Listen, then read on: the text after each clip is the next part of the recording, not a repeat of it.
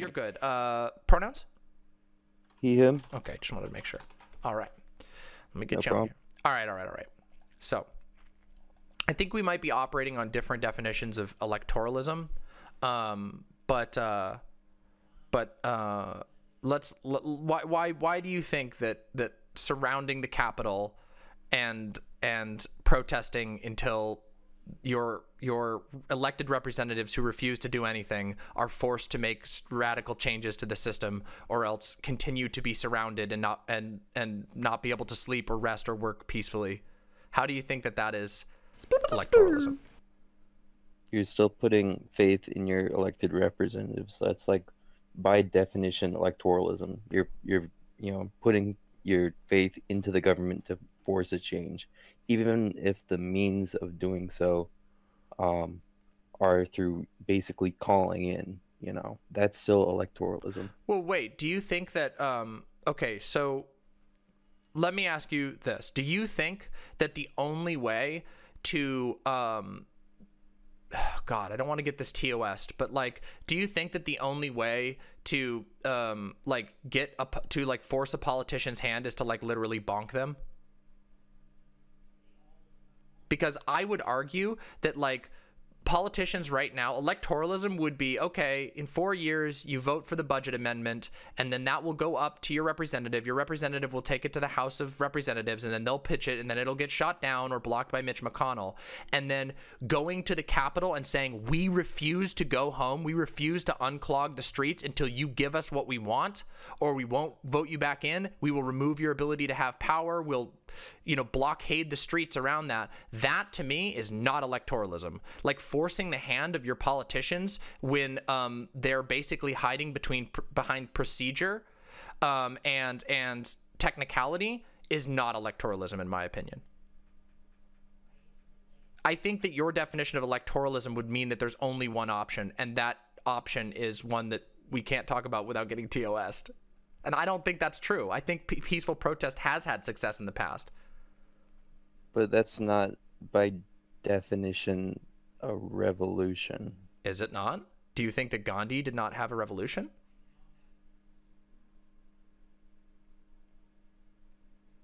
I think it's a little bit more complex than that. Do you think that the civil rights movement wasn't revolutionary? I think it was. was he working in the means of the system? Uh, was literally break- MLK? No. I mean, again, MLK literally, they literally blockaded Washington and, and said, we will not leave until you give us what we want. Damn the rules. Find a way to make it happen.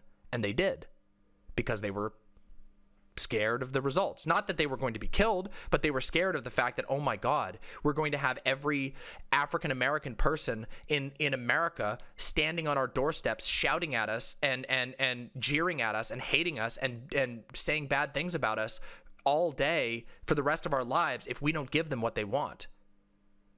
The the difference for MLK though is the fact that at the state level, uh, segregation wasn't like was no longer implement, implemented statewide, Okay. meaning that some states no longer had segregation where others didn't. and And that doesn't that that path- doesn't change the the sorry, go ahead.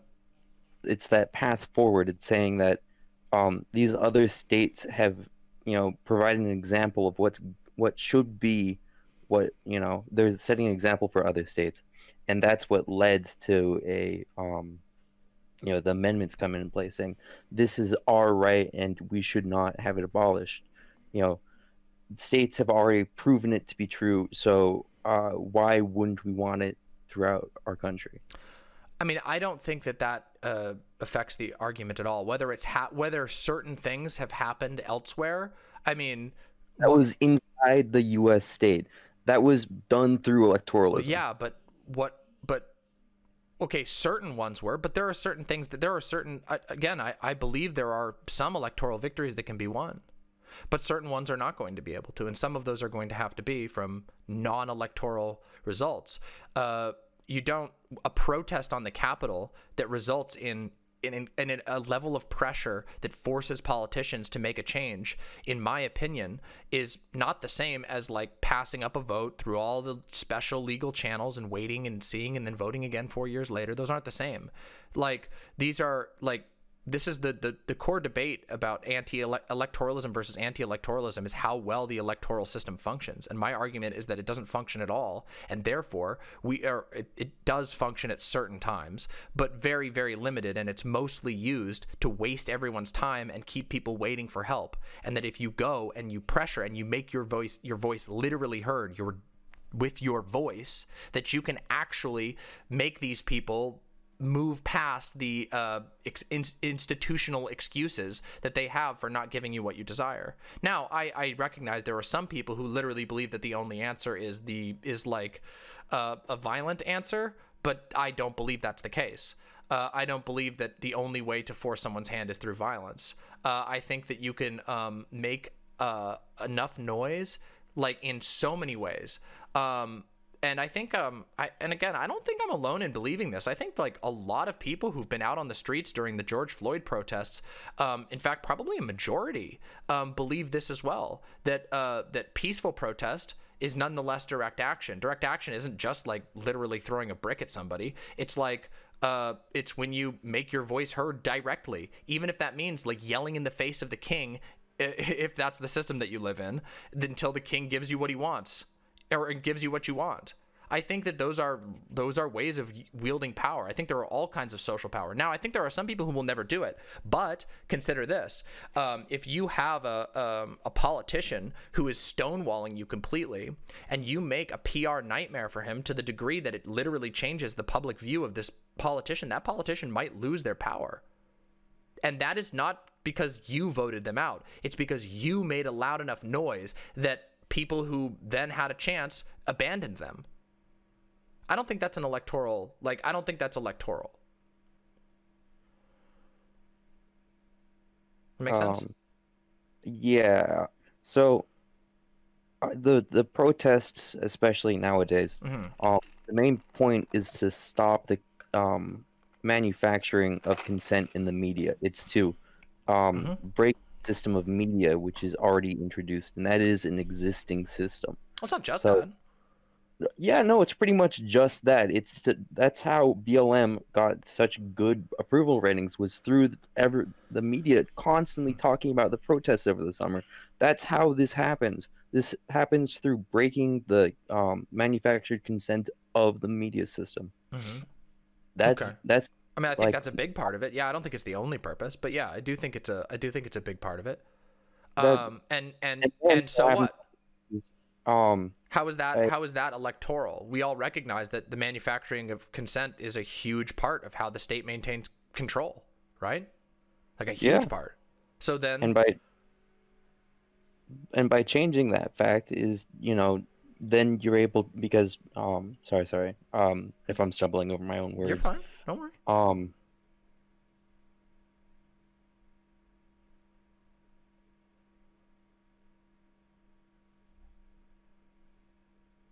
You good? Sorry, you, you yeah, cut yeah. out there for a second. Sorry, I, I um I I just lost my train of thought. No, that's fine. You were saying um, um you were saying uh br- you know breaking the cycle of the media um manufacture of consent. That that's still um it, you know not to use overturned like um or overused uh cliches you're you're basically you know like you're waking people up you know okay. beforehand it was a non-issue for many voters especially for marginalized minority groups um, where they don't have a uh, enough of a vote to matter. Uh-huh. However, if you're able to get you know your voice in front of the media, then you're mm-hmm. able to electorally challenge these people. Because before, what happened was these minority groups were you know being marginalized and no one in politic like politically through electoralism cared because their voter base was too small. So by by amplifying these voices you are um, making the politicians you know squeal and run with their tail in between their legs uh-huh. to make this an issue across america. Yeah. This is why along the debate stages you know for presidency one of the biggest issues was talking about BLM and Antifa. Mhm. This is that's the reason why a it's success, not. though, isn't it? That's that. Yeah, it's a Yeah. success through electoralism. But that's it's not just making an issue. electoralism, though. Here's the thing: like, okay, I think I've maybe identified where where where we're missing one another. Do you believe in democracy? Of course. Okay, so if you believe in democracy, then there is an electoral system that you believe can function correctly, or maybe not an electoral system because but there's some sort of democratic system that you believe in, right? You're not you don't believe there should be no system of society whatsoever, right? Uh, to a degree. Okay. Like th- there's obviously some systems which it's very difficult to imagine without. However, other systems it's very visible to be able to see that you know it's not necessary. like oh, well okay so like when i think about um, electoralism i think about it with the with in regard to what exists now because i think that's what matters. Like there are I don't believe that like for example in a like anarcho syndicalist society i don't believe i would be an anti-electoralist anymore because at that point the system would have changed to the degree that it doesn't resemble what we are talking about now um, I would believe that, hey, we've built a much better society, and there's probably really good ways in which we can more accurately express ourselves through whatever system we have set up. And what I'm saying is that uh, changing the system right now sometimes means uh, applying pressure in such a way that people are willing to do changes that they otherwise wouldn't have, which fundamental, which can fundamentally change the system and the way that it works. I don't think that's electoralist. I don't think it's electoralist to say, hey, uh, we should pressure these politicians and give them one way or another, poli- publicly, politically, uh, or otherwise, no choice but to listen to the desires of the people who are making the demands. And that if they cave into those, well, then they have now changed the system. Now, there might be a situation in which it is literally impossible. There might be certain things that are uh, like impossible to uh, to um, you know um, resolve peacefully. I do believe that there are some things that cannot be resolved peacefully, um, but I don't know what those things exactly are, and it's not In really a the video game, of course. well, I mean, no. I mean, I don't even think we need to say in a video game. I think that there are some some things that are. I mean, I don't think it would have been possible to resolve like World War II peacefully. Like, especially as a if you were a European, like if you're like French, like how are you going to resolve like an encroaching fascist nation peacefully? You can't. It's not possible. Um, you have to fight back to something like that. Now, uh, I don't know there are probably certain circumstances in which that's the case here in the United States, but I think in general, um, we can do these things because we live in a state that is so focused on media, that's so cultural, especially now in the age of the internet. Um, like the way people act and what they demand and what they uh, what they the, the, the social pressures and the cultural pressures they apply are more important than ever. And that means i think that peaceful protest is actually incredibly effective for getting these changes through changes that can't get that can't be voted on because they won't let you vote on them. You know what i mean? It's not about you doing your civic duty and clocking in and pressing the buttons that they let you vote for. It's about saying, no, you're not even putting this on the ballot. So we're going to take it straight to Washington. We're going to go to Washington and we're going to stand outside your office and shout at you until you make it possible, either until you quit your job and somebody else takes your place who's willing to listen to us, or you put the thing that we want on the floor.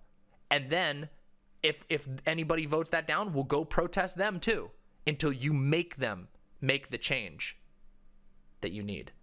That's I don't think that's electoralism. Now, uh, depends on how far you go. If you're like a hardcore, you know, if you're really, really, uh, really, really into the Soviet aesthetics, maybe you think that um, we should just skip that first step, or and just you know bring out the Kalashnikovs. But that's not my approach.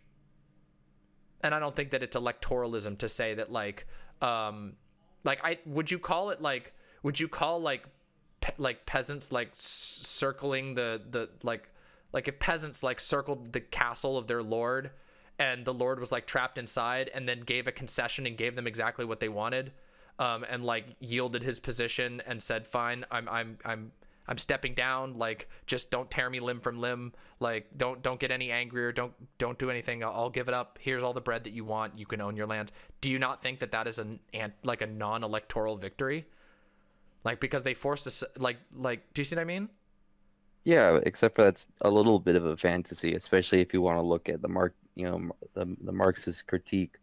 Um, if you look at the, the transition from um, a feudalist society towards capitalism, you know, especially in France, mm-hmm. after the main revolution, the French Revolution, you'd you still see a lot of you know, basically the rich or the powerful keep their power even after you know a non-electoral revolution. That's not what you see. I mean, yeah, because I mean, I think that was a. I mean, I think Marx has plenty of critiques of the of the bourgeois revolution that was the French Revolution. The French Revolution was didn't they didn't even aim to remove the economic power of most of the elites. They just removed some of their political power. You know what I mean? Like the nobles oftentimes just maintained their economic power and were just stripped of basically titles and I wouldn't be I don't advocate for that type of change. If we're going to go in, I mean, not always. There might be times where some like small changes like that are valuable and important, but I would argue that we need to push harder than that. We need to push for meaningful changes, changes that are systemic, and those are hard. Um, and I think there might Hello, be demonic there, mother. Um, when is the next season of America going to start? It already has, Eurus. Thank you. Um, thank you very much. Um, but uh, I, I, think that um, uh, I, I think that there are there may perhaps in the future be some uh, irreconcilable issues. Um, like I think that like I don't know. I think we came pretty pretty goddamn close with Donald Trump. I mean, if Donald Trump had succeeded in like in like preventing the the democratic like vote from going through, I think that you're we're at a point where there's no other choice but to sort of fight and that sucks. But I would like to avoid that that as much as possible because that's not a nice um that's not a nice outcome and it's not even not a nice outcome. It's like a horrible outcome that mostly harms marginalized people. I think that we can i think that we have a lot of um, things that we haven't been trying because we get lulled into this idea that you can go every four years and actually make your your voice heard by the current electoral system but it doesn't actually do that. Like everything between first past the post to um, the endless uh, you know, endlessly arcane laws that nobody actually understands and nobody knows how to vote for anything because it's just deliberately designed to be so confusing that the average person can't navigate it. I think we can make changes to those things that would be very major, but I think they're going to have to be they're going to have to take action from people being willing to say, "No, I'm not going to wait and vote in 4 years. I'm going to go protest outside of my governor's house today, and we're going to make them mad until they give us what we need." I don't think that's electoralist at all. It's basically just saying surrender or we'll make your life hell. Even if it uses the media. But it's a fact of, of American life that the media is a huge part of American life. Like, I mean, I, don't I think there are some like genuinely like completely sociopathic politicians, but I think most politicians like um like a lot of politicians if they were just if every single day they woke up to a bunch of people yelling at them and jeering at them and saying insults and then they go and turn on the news and the news is just reporting on how everyone hates their guts um, that that's going to intimidate and actually like ruin the life like i don't want to say ruin the lives but it'll make their lives not comfortable. But it's peaceful. It's still peaceful. It's just aggressive. So yeah.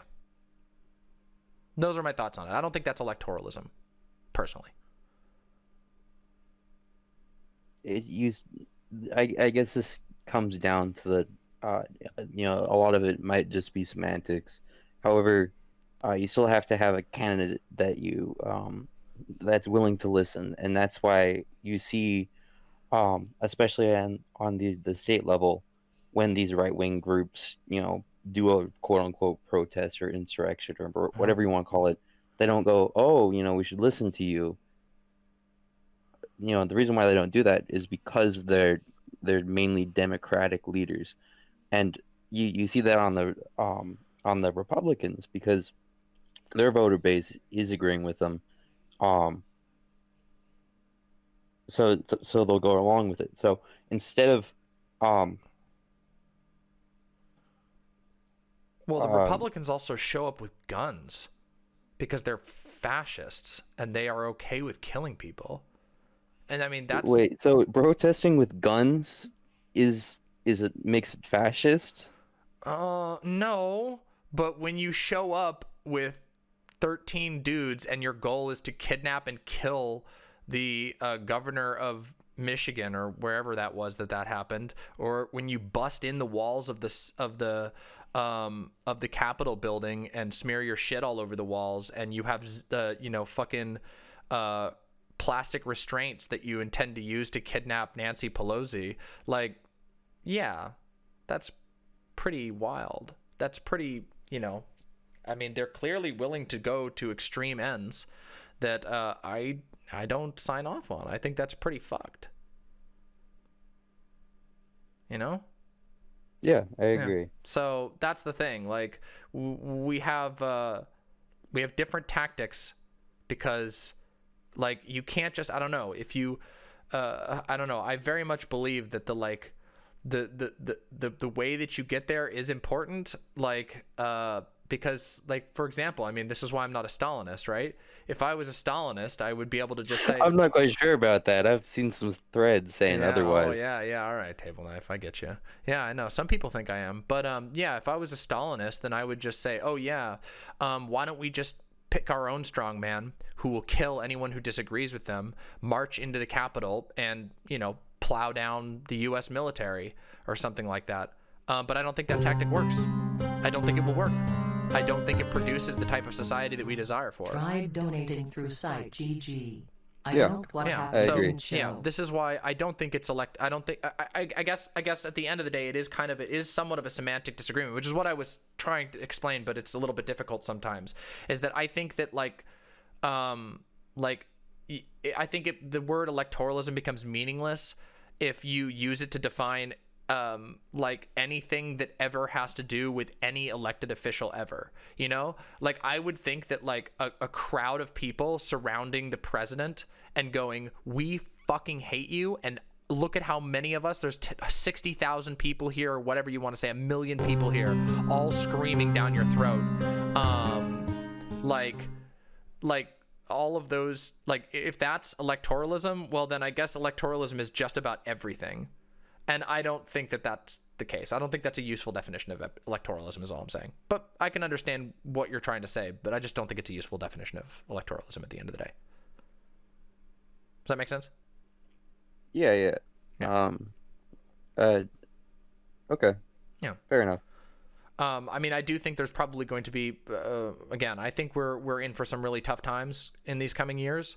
Um, but uh, I like to believe, and uh, I hope that it's the case um, that these sorts of things can be done as peacefully as possible. But I recognize that you know a lot of times we're going to be going up against some pretty bloodthirsty motherfuckers, and if those people are going to kill in the name of their system, uh, we're going to have to do some hard thinking about whether we can whether people are willing to like die in the name of peaceful protest or whether they're going to fight back but i don't believe in like i don't believe that i don't believe in like strongman theories of approach i'm not a stalinist i don't believe that like we should just find our own fascist to bash down the doors but he'll be a red fascist and then we can worry about getting rid of him later i think that's a really dangerous setup you know Yeah. Um. I guess. Uh. Another way of looking at it too is, uh, you know, all of you know, doing all this is to eventually get power within the state, whereas a revolution or an anarchist position might be um, power outside of the state. You know, doing things um, other than just a protest to get to end up with you know state power. Um, Yeah, I just think that like it's hard to do out. that right now. Like we we live in again, we live in a very different era than we than like even the the last you know recognizable anarchist or, or or communist revolutions. Like we don't we, we live in a time of like damn near panopticon and the the ability of the government to communicate instantly and have such overwhelming force that um you know that like even with a highly even with a heavily armed like citizens militia or vanguard militia or anything like that what are you going to do? You're just going to get drone struck. So it's like I, I don't know. Um, like I, I feel like we have to rethink that and we have to get smarter. We need to fight with information. We need to fight with um, mass public sentiment. We need to fight with messaging and with education um, because when it comes down to raw like military power no one stands a, a, chance. I mean the united states military can literally detonate the planet like 30 times over. And like that's really difficult. I think that building independent power in this system is challenging. I think it's possible, but I think that we're going to have to, uh, you know, to to steal some some anarchist theory words here. I think we need to get the preconditions there, and I think sometimes that's going to require us.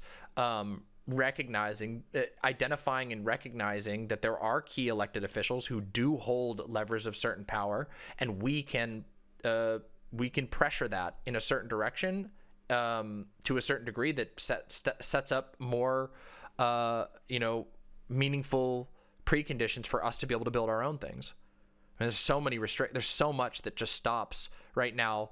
Uh, like, like any sort of of I don't even know how to put it. Like community organization. Like I mean, imagine this. Like imagine if if if like uh, I mean, this is something I'm just like pulling it out of my hat right now. Like, like imagine if uh, there was like a, a really bad incident with the cops. I mean, you you know, you were just I think you were like in, like following this shit, right?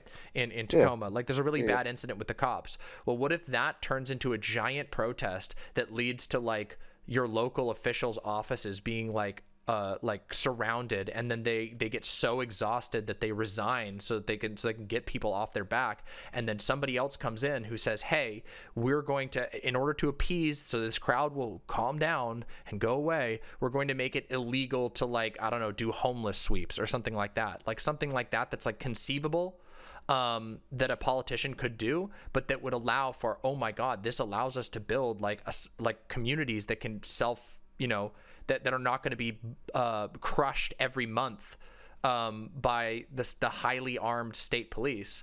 You know what I mean? Um, like those are the sorts of things that we like. We can't just like snap our fingers and have an anarchist society. Like not even anarchist theorists, even not even a revolutionary anarchist theory theorists believe that. You have to have certain preconditions, and that doesn't mean that you have to like sit there and wait and vote and da da da. I just think that like we have to recognize that like some solutions will require uh will require us to like wedge wedge ourselves in and make those spaces first. Because like as it stands right now like if you try to like if you try to like make something independent like it usually just gets crushed by force. And that's like and it's it's all under the books. It's all clean. You know what i mean?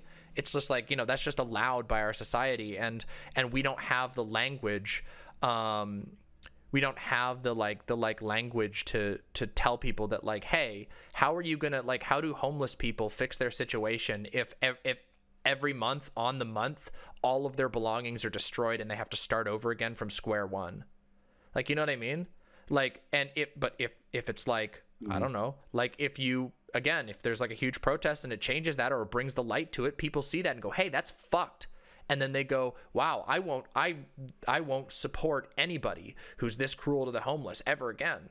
And then all of a sudden, you've made room for people to start actually building their own communities and building their own political power, which could, at very, very realistically, at someday, um, you know, manifest into something much stronger. You know. Um, I just think that like w- at the moment, like the left is uh, in a pretty weak spot in a lot of ways, and that most of our work right now is going to be education and winning the I- the battle of ideas. Oh no, the site chat went down. Uh, don't worry, chat. Site chat should be back soon. Do you see what I mean? Do you see what I'm saying? Uh, yeah, yeah, yeah. I, I, I'm, I, uh, this might end up just being semantics, and you know we might disagree at the end. I just would consider something more like uh, mutual aid as being something that's non-electoral, mm-hmm. um, and to say we only need programs such as mutual aid is you know like the way forward instead of dual power in the sense of giving power to the state compared to something that is not but that, like I said, this might just be you know Yeah. one of our understandings of words might be different. From Yeah, a little bit. I think that's definitely happening a little bit. Like, I don't think we're like deeply in disagreement. I'm happy that we got to talk, of course. Um, but like, I don't think we're deeply in disagreement. Um, I do think, uh, like, I think that mutual aid is a very broad term, um, and I would love, uh, I would love for us to come up with more like you know drill down and come up with more specific terms instead of just using mutual aid as like a broad catch-all. Um, but i do think that there are ways of building dual power um, that start with stuff like mutual aid and can uh, can literally grow into really really powerful structures. Um, like i think when i think of this i think of like um, a lot of stuff that's happened within the lgbtq community um, which is like you know things that start as like charities or mutual aid funds and become functionally um, public institutions that aren't state controlled at all. And like there's a lot of these eh, where I live here. Like I mean there's a lot of these that aren't state controlled in any way shape or form. They started as like loose collectives of queer people just trying to find their way. And then they slowly over time accumulated local power, um, political influence, money, um, and you know sometimes land. And then they became their own eh, their own institution that that is not a part of the state but serves a purpose. It- like a literal like what we would understand theor- like in a theoretical sense to be a syndicate and i think that that's like pretty cool. I think we can do that for sure. Um, but it's it's really complicated. You know what i mean? Um, yeah and i think these things have to be structured really carefully. Otherwise they could fall to um, they could fall to like you know being becoming compromised by capitalism or whatever. I think that happens sometimes you know like a charity starts out with a good intention and slowly you know because it's structured as a 5013c corporation ends up you know corrupting itself because it was structurally designed in like a poor way. Um, but i think that if we get smarter about how we design our uh, these institutions these things have the power to fill needs that the state isn't and there and also therefore gain political power that, that the state cannot access like again sorry to ramble about this but it's something i'm really interested in but like imagine if there was like a um imagine just like we get like an Engels, okay? So like a really rich like Engels type person, like a super rich person who's just like super passionate about anarchism or whatever and is willing to like fund uh, like a like a bunch of uh a bunch of like democratically run uh, co-op food kitchens or something like that and those food kitchens are really successful and the government just isn't feeding people and so people just come to those food kitchens and they start supporting those food kitchens um, and then those food kitchens become more than just food kitchens they become places where lots of people come to buy uh, to to buy and get food. You know, maybe it's like you get free food, but you can also contribute money if you have it. So people just start to use them instead of going to apply to SNAP. All of a sudden, there's a institution that has been built by the people uh, or you know with literally by the people one of which who probably had access to some resource or another but that's just a reality. Some people have access to resources and others don't. Um, and then that can be structurally turned into something that stands on its own and then the people who benefit from that don't give a shit. Like why would they need to go why would they need to go and and file a, a 200 page document to get snap when they could just go to their local uh, anarchist kitchen that gives them food for free and that they have a good time and there's music and and they talk about politics and they help each other out and then they organize in their communities and fight back against you know and could grow from there do you see what i mean like i think we i think a lot of times we get stuck in uh in a sort of binary of of like oh it's either uh liberal uh electoralism or uh you know uh red orchestra choir uh Kalashnikov tanks kind of stuff. You know? Yeah, um, this, this like co-op style though that that's non-electoralism, and then having power to the state is electoralism. I I I strongly believe in dual power because you know that's the most important. You know, if you if you can have you know as much power as possible, you know you can keep things in check. Yeah, I agree with you, but you, you you surely must recognize that right now the state does have power. Like that's a fact. It's not whether we like it or not. They have power. Um, it's backed up by massive force, and they will use that force in a lot of ca- in many many cases. So it's not just a matter of us wanting it. It's just that like sometimes it's just a matter of fact that there is somebody who's holding the power, and that person needs to be pressured or or replaced or whatever in order to break free that power to yank the power out of their hands one way or another. And i would advocate for peaceful pro- approaches to that because i think they're more effective in the modern the modern era. But i certainly don't think that's the the be all end all of, of political uh, engagement. If that makes sense. Like the point is is like i advocate for people to uh to uh, wrest power back from unjust institutions by whatever means they can and whatever means are most effective. And I happen to believe that the most effective way is sometimes to realize that you don't get to vote for uh, whether you know you, you're not necessarily going to have a vote on a ballot about uh, like voter suppression, but that doesn't mean you can't go straight to the person who's going to be make who's going to be signing the bill about voter suppression and make them make them feel horrible about it make them in, make it impossible for them to actually sign that thing without dooming their own career. You see what i mean? Anyway i think that's the core of our disagreement is we kind of use the term differently but i rec- i opened this segment by pointing out that everyone seems to use the term electoralism differently. So yeah, yeah. Yeah. All right. Well, hey, thanks for coming on. Uh, did you wanna did you wanna drop any memes to the chat? Uh, not really. Just uh, you know, keep your eyes on the media. That's all. Yeah, of course. Yeah, uh, absolutely. I mean, and uh, and uh, keep your eyes and your and your donos on the good media. There you go. All right. Listen. Yeah, yeah. Yeah. All right. Have a have a good day. I'll talk to you soon.